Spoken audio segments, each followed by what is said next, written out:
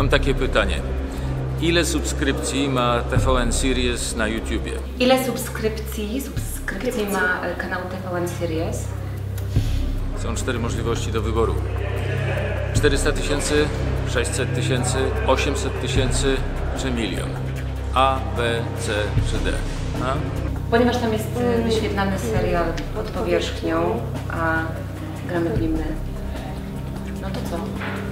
No to odpowiedź jest chyba prosta. Oczywiste oczywiście, że Milion. No dobra, poprawna odpowiedź to oczywiście D, milion. Bez dwóch zdań i definitywnie.